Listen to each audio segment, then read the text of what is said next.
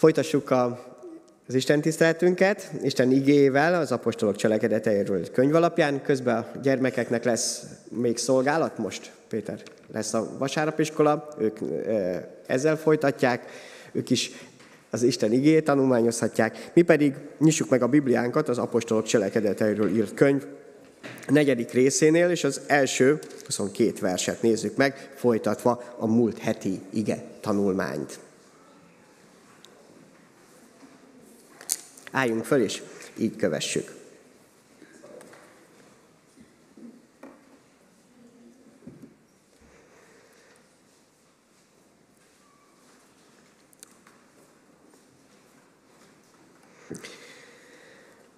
Az apostolok cselekedeteiről írt könyv negyedik rész első versétől. Amíg beszéltek a néphez, eléjük álltak a papok, a templomőrség parancsnoka és a szaddukeusok, bosszankodtak ugyanis azon, hogy tanítják a népet, és azt hirdetik, hogy Jézus által van feltámadás a halálból. Ezek elfogták őket, és mivel már este volt, őrizbe vették őket másnapig. De azok közül, akik hallgatták az igét, sokan hittek, és a hívő férfiak száma mindegy ötezerre nőtt. Másnap összegyűltek Jeruzsálemben a vezetők, a vének és az írástudók, Annás, a főpap, Kajafás, Joannész, Alexandros és a főpapi család valamennyi tagja. Középre állították és vallatták őket. Milyen hatalommal vagy kinek a nevében tettétek ti ezt? Ekkor Péter megtelve Szentlélekkel így szólt hozzájuk. Népünk vezetői, Izrael vénei.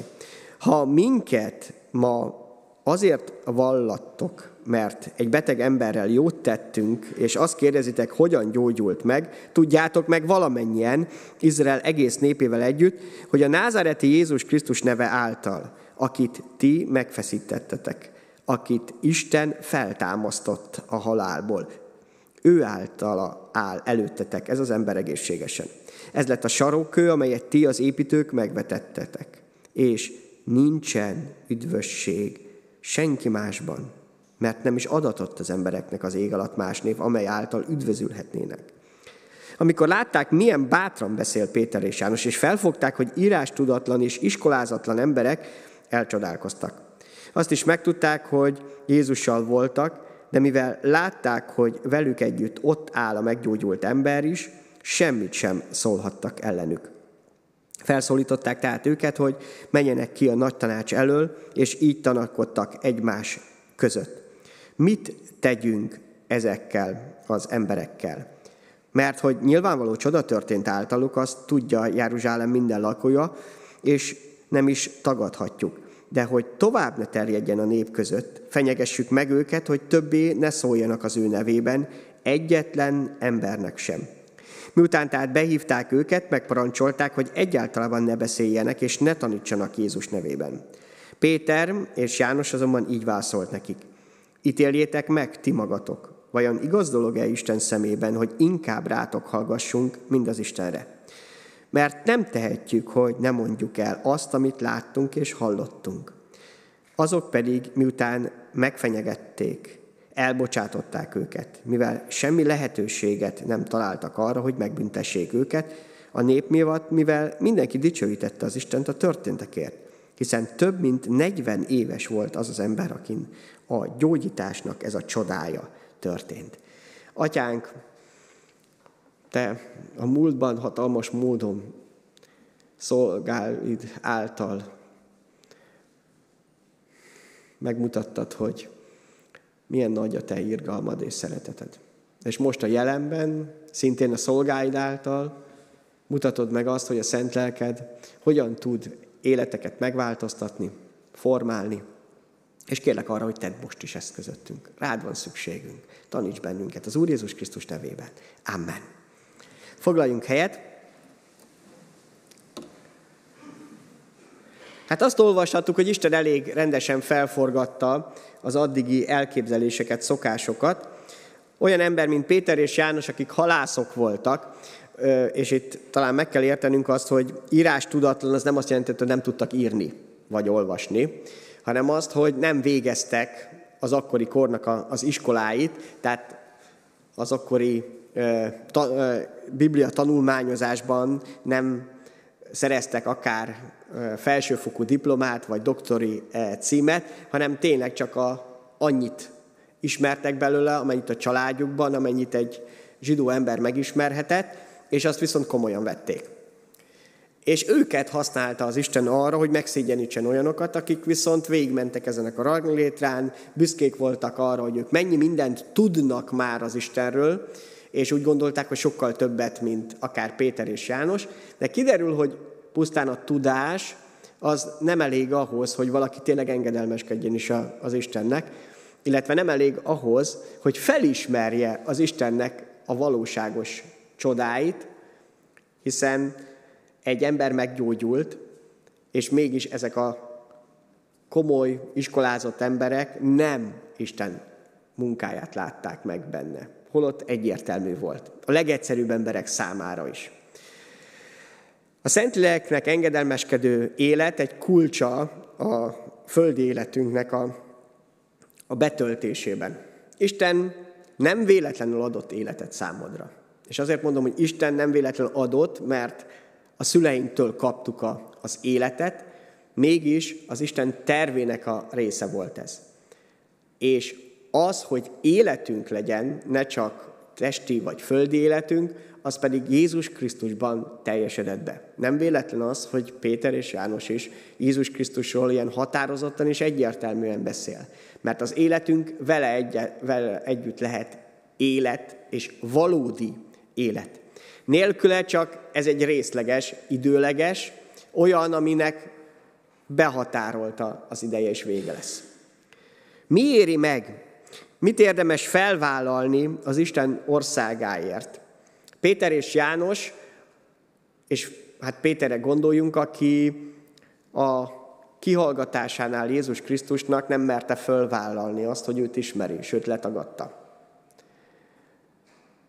Persze ezután ezt szégyelte, megbánta, rendezte az Úrral. Most viszont azt látjuk, hogy készek akár a börtönt is örömmel vállalni.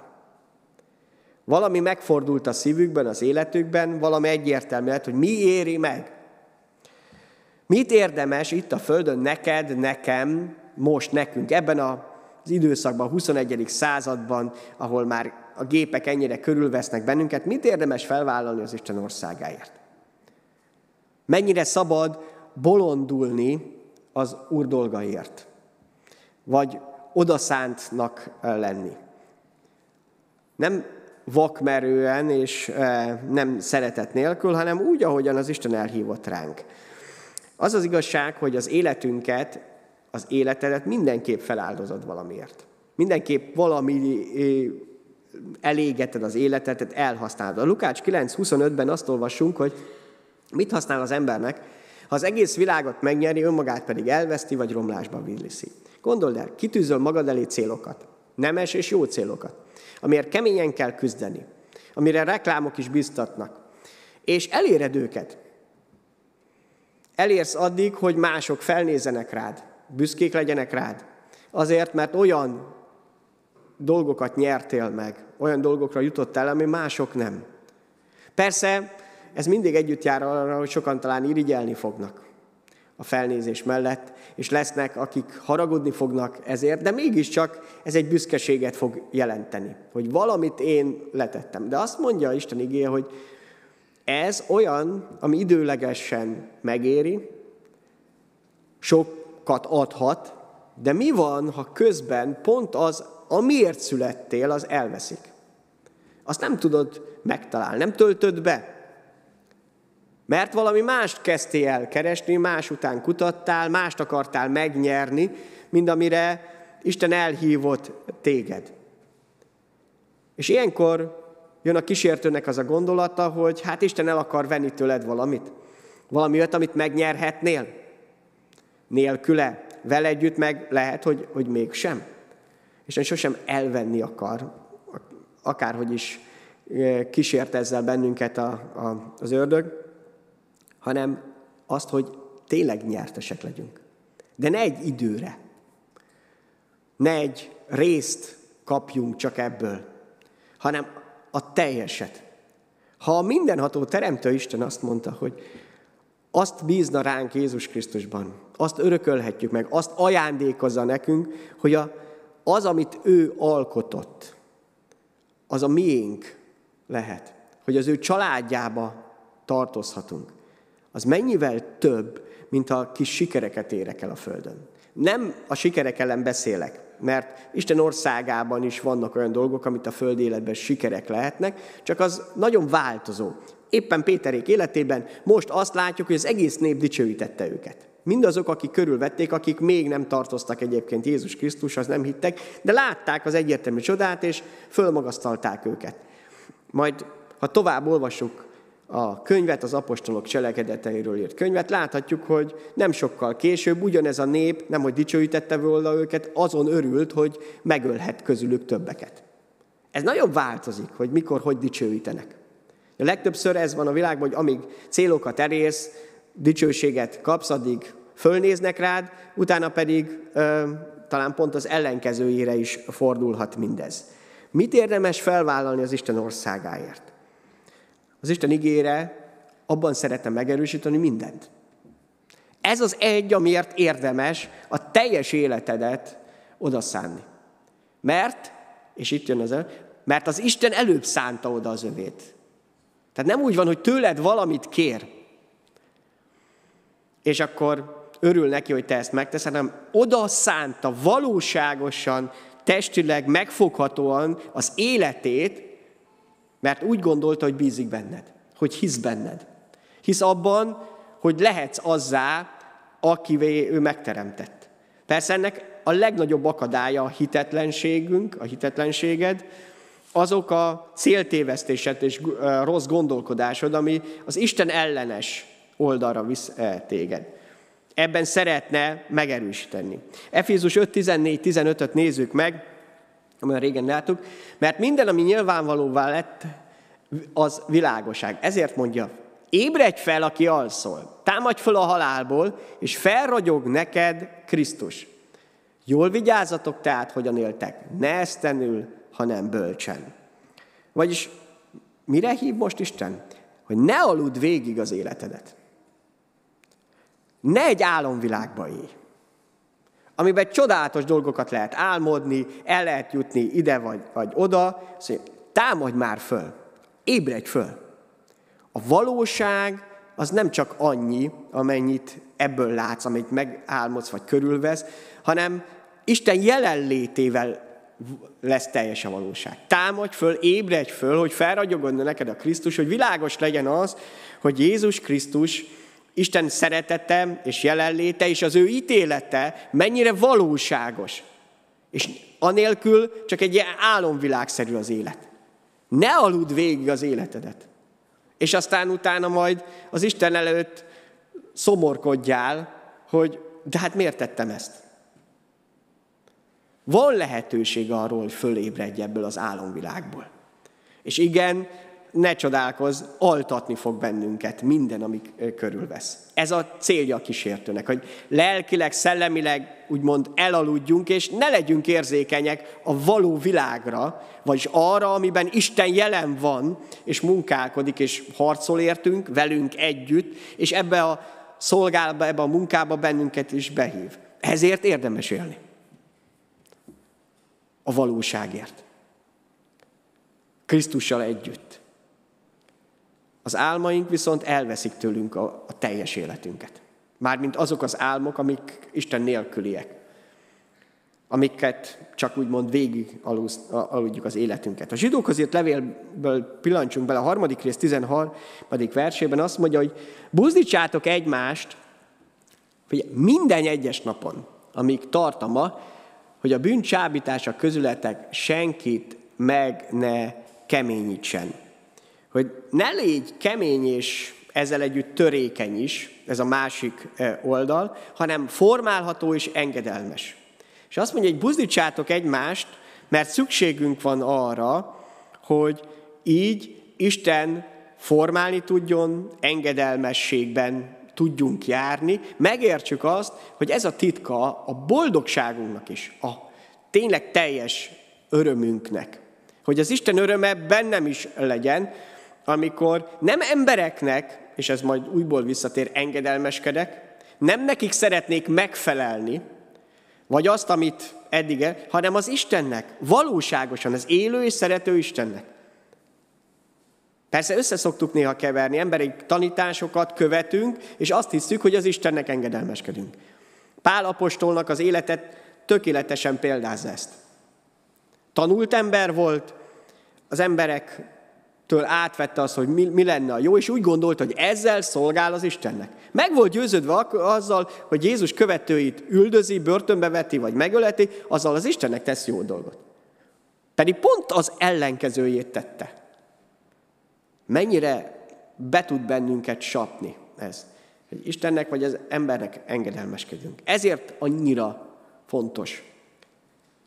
És ezért érdemes tényleg az Isten országáért, a mennyek országáért fölvállalni mindent.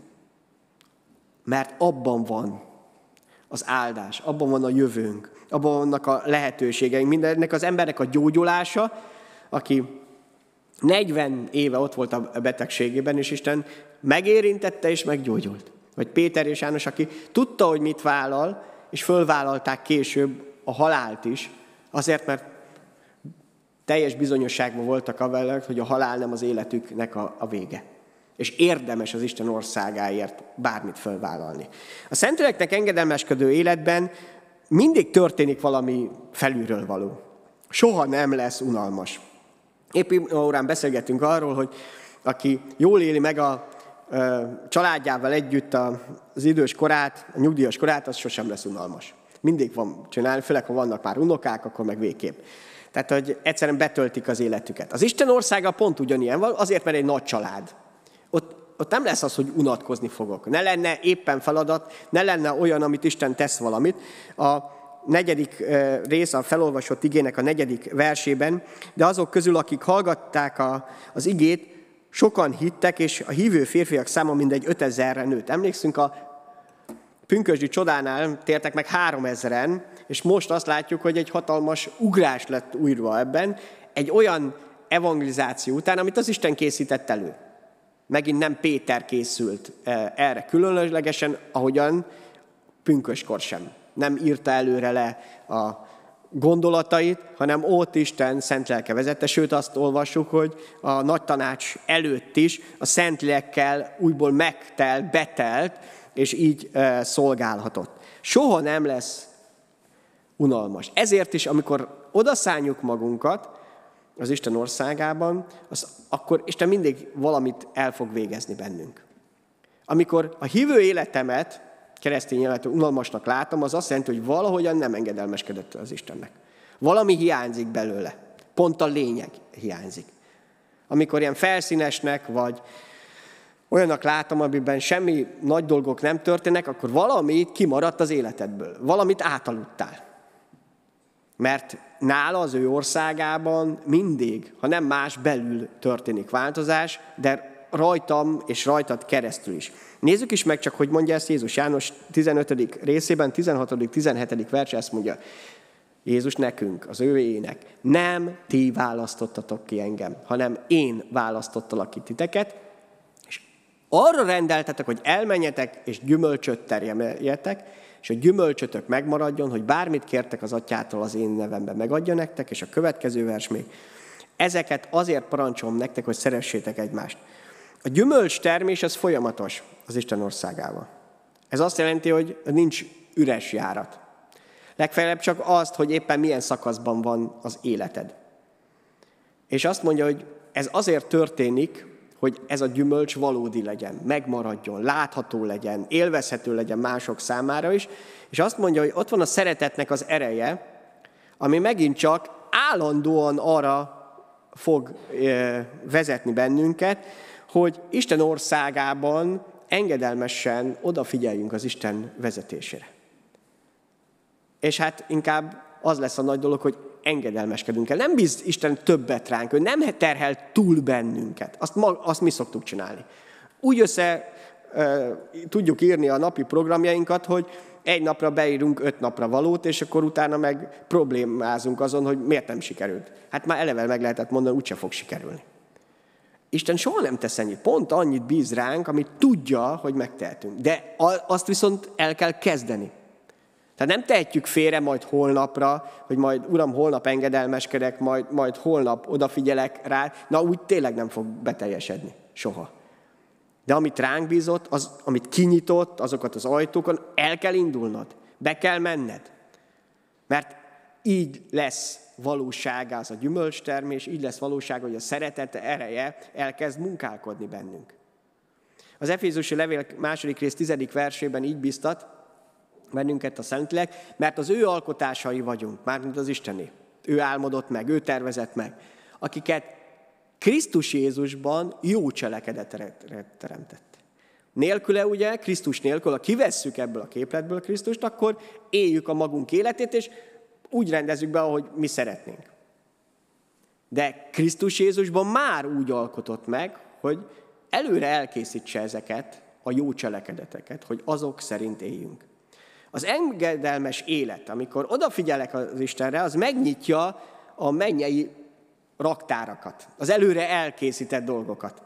Ez az áldásokra is igaz, és azokat a lehetőségeket, tetteket és gondolatokat is, amit a, az Isten nekem szánt. Krisztus Jézusban, az én Uramban. És ezek valóságos dolgok. És így működik a, az engedelmesség, hogy ezekben elkezd járni, és minél többet felfedezek ebből. Kiderül, hogy nem, hogy üres az életem, annak ellenére, hogy lehet, hogy másokhoz képest tanulatlan vagyok, kevesebbet tudok, akár még csak az Istenről is, de egyszerűen hatalmas kincses tára bukkantam Jézus Krisztusban. A zsidókhoz írt levélben, 11. rész 8. versében pedig Ábrámról olvasunk, azt mondja, hitáltal engedelmeskedett Ábrám, amikor elhívta Isten, hogy induljon el arra a helyre, amelyet örökségül fog kapni, és elindult nem tudva, hova megy. Isten előre elkészítette az ő örökségét. Ő ezt nem ismerte. Nem azért mentem, mert tudta, hogy ez fantasztikus. Láttam, és erre érdemes fölraknom az életemet. Nem látta. Nem járta be előtte azt az utat, és nem azt mondta, hogy oké, okay, látom már, hogy Isten mit készített nekem, ezért érdemes odaszánnom az életemet. Hit által engedelmeskedett. Hit Istennek, és Isten egyébként ezért áldottam meg. A hitedet, a hitemet használhatom fel arra, az enged, hogy engedelmes lépéseket tegyek az Isten felé. Hitáltal tudom azt megtenni, hogy amit Isten mondott, kért, el, eltervezett, abban el is induljak. A hitet pont azt mutatja meg, hogy valódi, hogy elkezdesz engedelmeskedni. Az a hit, amely nem engedelmeskedik az Istennek, az nem valódi hit. Az akkor nem Istenben bízol, vagy nem Istenben reménykedsz, hanem valami egészen másban. A hit, az Istenben vetett reménység arra fog vezetni, hogy engedelmeskedjek neki. Akkor is, hogyha pontosan nem látom még a célt, csak az Isten ígéreteit tudom. Így vagyunk egyébként az örök élettel, a mennyországgal is. Hiszen legalábbis nekem elég gyenge a, a fantáziám másokhoz képest, de Isten azt mondta, hogy megáll bennünket, hogy vár bennünket, és amit megígért az ő e, igében, azt elhiszem. Ez az, ami motivál. Nem azért, mert ott jártam, mert tudom azt, hogy milyen fantasztikus dolog, vagy valaki visszajött volna és elmondta volna nekem, hanem hiszek Istennek. Hiszem azt, hogy amit ő megígért, az valóság. És nem csak a mennyország tekintetében, hanem a föld életben is. Ennek viszont már nagyon sok bizonyságát élhettem meg. A Szentléleknek engedelmeskedő életnek van egy egyszerű alapigassága. A 12. versben, a negyedik rész Abcsal 12 olvasjuk, nincsen üdvösség senki másban, mert nem is adatott az embereknek az ég alatt más név, amely által üdvözülhetnénk, mint Jézus Krisztus. Miért mondom azt, hogy ez a Szentléleknek engedelmeskedő életnek az alapigassága? Hiszen nincs is benne a Szentlélek. Azért, mert a Szentlélek pont erre vezet el. Ezért jött el. Hogy ezt megértsük, ezt a mennyei igazságot, hogy nincs más út az Istenhez. És aki bárhogyan el fog jutni az Istenhez, az is Jézus Krisztus miatt. Azok is, akik előtte éltek az Ószövetségben, vagy bárhol máshol. Nincs más. Jézus Krisztus halt meg a világ bűnért, nem más. Ő az, aki egyedül hordozni tudta ezeket, az Isten fiaként bűntelenül, senki más. Ő tud téged is megmenteni, és engem is. Ez a Szentléleknek engedelmeskedő élet alapigassága. Nem az, hogy én ki vagyok, Nem rólam szól ez, hanem magáról, az én Uramról, Jézus Krisztusról. Persze, amikor őt dicsőítem, akkor vele együtt kiderül, hogy ő viszont engem fog felemelni. Nem én magamat, nem emberek engem, hanem Isten. János 16. részében Jézus ezt mondja el, hogy a Szentlélek ezt hogyan végzi el. Még sok mindent kellene mondanom nektek, de most nem tudjátok elviselni. Tehát van olyan, amit Isten már meg tudna tanítani, de még nem tartok ott. Amikor azonban eljön ő az igazság lelke, a Szentlélek, elvezet titeket teljes igazságra. Mert nem önmagától szól, hanem azokat mondja, amiket hall, és az eljövendő dolgokat is kijelenti nektek. Ő engem fog dicsőíteni, mert az enyémből merít, és azt jelenti ki nektek. Mindaz, ami az atyáé, az enyém, ezért mondom, hogy az enyémből merít, és azt jelenti ki nektek. Jézus megismerése az ő kijelentésén alapul, és az engedelmesség útján. Ahogy Istennek engedelmeskedsz, ráfigyelsz, a Szentlélek fog ebben tovább vezetni. És igen, minden egyes lépésnél egyre jobban megismerheted a te uradat, Jézus Krisztust, egyre inkább láthatod az ő páratlan nagyságát. Pálapostól is ezt állt de én is és te is ugyanezt élhetjük át. Mert ez volt a, a terve. A Szentlélek ezért jött el, hogy Jézus Krisztus dicsőítse, hogy az övéből merítsen, és azt tudja a mi szívünkbe is, a mi lelkünkbe is beleplántálni. Korintusi levél 1 Korintus 12.3-ban azt mondja itt, ezért tudtotokra adom, hogy senki sem mondja Jézus átkozott, aki Isten lelk által szól, és senki sem mondhatja Jézus úr, csak is a Szentlélek által. Ez a Szentlélek munkája. Hogy felfedezed azt, hogy Jézus Krisztus Úr, az Atya Isten dicsőségére. Hogy Jézus Krisztus a te életednek is az Ura. Nem valaki távoli, aki másokon tud segíteni, aki neked is segítséged itt a földi életben, és a teljes örök életedre. Hogy valóság az, hogyha hozzá tartozol, ha tiéd Jézus, akkor minden a tiéd. És minden egyéb itt a földi életben is ehhez képes ráadás. Sok küzdködés, sok nehézség, sok harc ez a földi élet. Ezért annyira fontos, hogy a lélek által engedelmeskedve megértsük azt, hogy Jézus Krisztus az Ura mindezeknek. A Filippi levélben olvasjuk a Krisztus himnuszt hogy miközben Jézus Krisztus, az Isten fia itt a földi életben közöttünk járt, hogyan is működött a Szentléleknek való engedelmessége, a benne való élet, az atyának való engedelmesség. Filippi 2.5-től az az indulat legyen meg bennetek, amely Krisztus Jézusban is megvolt. Tehát a léleknek ez a munkája, hogy ez a hozzáállás, ez az indulat az életemben is valóságá legyen. Aki nem egy zsákmánynak tekintette az, hogy milyen helyzetben lehet, hanem annak ellenére megüresítette önmagát, szolgai formát vett fel, emberekhez hasonló lett, emberként élt, enged, megalázta magát, és engedelmes volt mind, mind halálig, mégpedig a kereszt halálig. Hát miért annyira fontos ez az engedelmesség? Jézus Krisztusnak is. Ha neki, az Isten fiának, azt mondja, hogy ez volt a az a lehetőség, ez az út, amelyen segíteni tudott. Ez volt, amely betöltötte az ő küldetését. Neki engedelmeskedni. Aki egyébként úr volt a mennyben is. De eljött, hogy az engedelmesség által betöltse ezt a küldetést, megszabadítson bennünket. Azt mondja, ez az indulat legyen benne. Értsétek meg, itt a Földön az e- Istennek való engedelmességnek az útján tudjuk betölteni küldetésünket, az életünket. Nem mindig és nem tökéletesen érted egyből és előre. Gondoljuk Ábrahámra, hogy elindult vándorolni, és még csak azt sem értette, hogy Isten megígéri neki, hogy gyermeke születik, és eltelik öt év, tíz év, és nem születik meg. És aztán eltelik további tíz, és megint még mindig nem. De engedelmeskedik az Istennek. Nem mindig tudjuk az időket, alkalmakat, lehetőségeket, de azt igen, hogy Isten soha nem csap bennünket.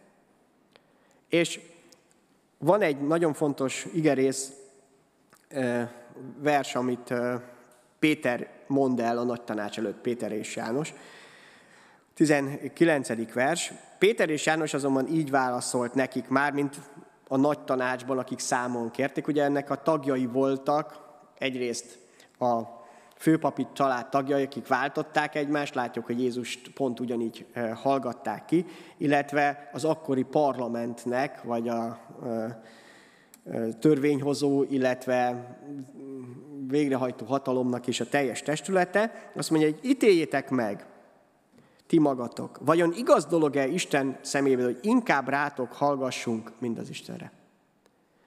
Igaz dolog-e úgy élni az életedet, hogy inkább emberekre hallgatsz, mint az Istenre? Jó dolog-e az, hogy arra nagyobb energiát fektetsz, vagy arra fekteted az energiát, hogy az embereknek kedvébe járjál? És megelégedettek legyenek részben, vagy, vagy egészben. Mind az, hogy az Isten jó tetszését, jó kedvét keresed. Igaz dolog ez? Jó dolog ez? Egyáltalán kell-e választanunk? Keresztény emberként nagyon sokszor fölmerül, hogy nem lehetne ezt választás nélkül? Hogy itt is, meg ott is ö, teljesítek. Ennek is és annak is megadom a, a tiszteletet. Jézus is mondta, hiszen adjátok meg a császárnak is, ami, ami neki illik, és az Istennek is, ami az Isteni. De hát pont ebben van. Az Istennek adjátok meg, amit az Isteni. Minden egyéb utána következik. A földi életünkben nagyon sok helyre tartozunk. A családunk felé, a munkahelyünk felé, amikor aláírunk valamit, kimondunk valamit, azok nagyon komoly dolgok. Habár ma már ez kevésbé fontos, szerintem aki komolyan veszi az Istent, az elkezdi komolyan venni a saját szavát is és az ígéreteit is mindenképp. De az Isten az, aki az első. A római levél 3., 8. rész 13. 14. versében azt olvassuk, hogy mert ha test szerint éltek, meg kell halnotok, meg kell halnotok, ha test szerint éltek. De ha a lélek által megölitek a cselek, test cselekedetet, élni fogtok. Akiket pedig az Isten lelke vezérel, azok Isten félvé. Többször előkerült ez az ige, vagy a léleknek engedelmeskedünk, vagy kiderül, hogy önmagunknak. Vagy az Istennek, vagy akkor, amikor azt mondjuk, hogy embereknek engedelmeskedünk, akkor igazából a saját elgondolásunknak. És itt a nagy különbség az, hogy az egyik az életre vezet, a másik pedig a halára. Ha az Istennek engedelmeskedek, akkor az életem lesz teljes. Amikor kiveszem az Isten kezéből az irányítást, akkor sajnos nagyon kiszolgáltatottá válok. A saját kényemnek, kedvemnek és az embereknek is ezzel kapcsolatban. Nézzük meg, hogy hogyan is működik ez a Jakab 4-7-8-ban azt olvassuk, hogy engedelmeskedjetek az Istennek, és álljatok ellen az ördögnek, és elfut tőletek. Közeledjetek Istenhez, és ő is közeledni fog hozzátok. Tisztítsátok meg kezeteket, ti bűnösök, és szenteljétek meg a szíveteket, ti két lelkülek. Az Istennek való engedelmesség az nem egy csak lehetőség. Az ördögnek való, a kísértésnek való ellenállásnak az alapja. Isten nem azt mondja soha, hogy, hogy állj ellen az ördögnek, legyél olyan erős, hogy ellenállj a kísértéseknek. Ez nem működik. Ez saját előbb. Azzal kezdődik, hogy engedelmeskedjetek az Istennek. Anélkül, hogy nem engedelmeskednél az Istennek, nem tudsz ellenállni az ördögnek, vagy a, kísértnek. Nem tudsz egyszerűen. Az egy légülestél. Ez, ezért nem lehet megúszni a választást. Az Istennek való engedelmességnek a választását. Mert az alapja annak, hogy észreved, felismerd és ellen tudj állni ezeknek. Nem a te erődből kell ezt megtenni, hanem elő, nem arra kell koncentrálni, hogy az ördöggel hogyan küzdjél. Hogyan tudjád megharcolni ezeknek a harcait, nem mintha nem kellene harcolni, csak nem az a kérdés, hogy neked, hanem hogy hogyan engedelmeskedj az Istennek, mert az készít erre föl. Azzal tudsz leginkább ellenállni. Amikor Jézus kísértette meg a mi úrunkat, az ördög pont ezt csinálta. Az Istennek mindig arra hivatkozott, hogy az Istennek hogyan kell engedelmeskedni. És nem kezdett el vitatkozni az ördöggel más dolgokról, nem kezdte el megmagyarázni azt, amit ő éppen mondott. Igen, szükségünk van rá. Máté 7, 13, 14-el befejezem, menjetek be a szoros kapun. Mert tágas az a kapu, és széles az az út, amely a kárhozatba visz, és sokan vannak, akik bemennek azon. Mert szoros az a kapu, és keskeny az az út, amely az életre visz, és kevesen vannak, akik megtalálják. Mert ez az engedelmesség útja. Ez fölfele vezet. És fölfele mindig nehezebb menni, mint lefele. Mert lefele még gurulni is talán könnyebb. Fölfele fárasztó. Az Istennek való engedelmesség az fárasztó. Igaz, hogy örömöt rejt. Igaz, hogy valódi boldogságot. Jézus szó szerint ezt mondja, hogy vegyétek magatokra az én igámat, húzzatok velem együtt, és megtapasztaljátok azt az örömöt, azt a boldogságot, ami ebben van. De nem azt mondja, hogy ez nem lesz egy nehézség, hanem ebben valóban ott van. Az Istennek való engedelmesség, ezt jelentett Jákab, Péter, és János életében is. Vannak csodálatos magaslatok ebben, egy ember meggyógyulása. Olyan örömök, amelyek tényleg az Isten adott nekünk. És vannak mélységek, amikor éppen a börtönbe kellett, vagy, vagy kell lenni.